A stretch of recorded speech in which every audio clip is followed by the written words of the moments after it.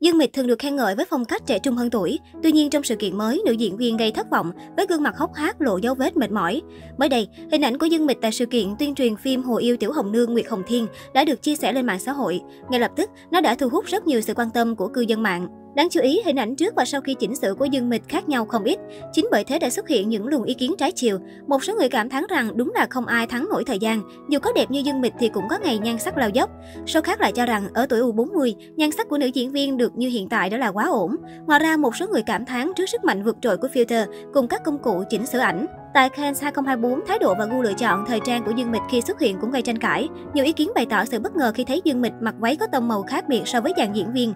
Trong khi các nghệ sĩ lựa chọn gam màu tối, nữ chính Trương Tử Di chọn chiếc váy màu tím tông trầm, Dương Mịch mặc váy được thiết kế riêng màu bạc lấp lánh.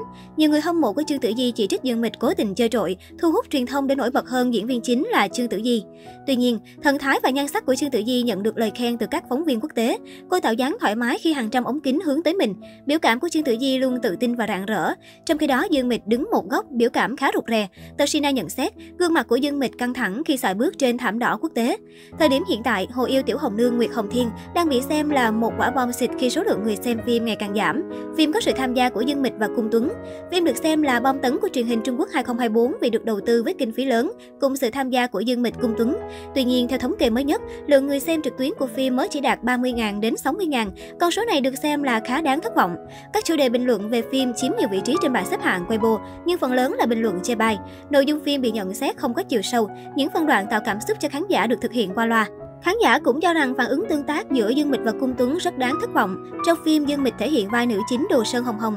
Trước khi phim lên sóng, một số khán giả lo lắng Dương Mịch đã quá tuổi so với nhân vật của bộ phim. Nữ diễn viên 38 tuổi không còn giữ được vẻ ngoài ngây thơ dễ thương. Trong quá trình làm việc chung, sự chênh lệch về ngoại hình và tuổi tác giữa Dương Mịch và bạn diễn khiến nhiều người nhận ra. Diễn xuất của cả hai cũng bị nhận xét khá đuối khi Dương Mịch vẫn không thay đổi lối diễn, còn Cung Tuấn bị đánh giá non. Bên cạnh đó, trong một tháng qua, Dương Mịch cũng tham gia đến ba tác phẩm ở nhiều thể loại khác nhau ra mắt gồm phim ngôn tình, phim chính kịch điệp viên, phim điện ảnh nhưng đều có thành tích không tốt. Điều này phần nào cho thấy khả năng thu hút khán giả của nữ diễn viên đã giảm sút đáng kể.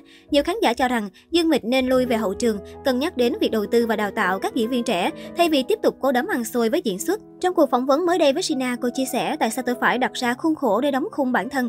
Nếu như có việc gì đó khó khăn và cần phải thử thách, tôi sẽ nghĩ rằng nó thật thú vị. Tại sao phải chọn cái này hay cái kia? Khi cần xinh đẹp tôi có thể trở thành một minh tinh. Khi cần được quan sát bằng tư duy tinh tế và nhạy cảm, tôi là một diễn viên. Dương Mịch sinh năm 1986 là một trong những nữ diễn viên thế hệ 8X nổi tiếng nhất làng giải trí Trung Quốc hiện nay.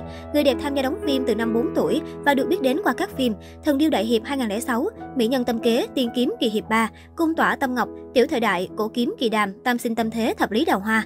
Một số nguồn tin thân cận tiết lộ, Dương Mịch đã chán các vai diễn ngôn tình hay cổ trang tình cảm quen thuộc, cô muốn dấn thân trong các vai diễn đòi hỏi diễn xuất sâu, các bộ phim chính kịch kén người xem.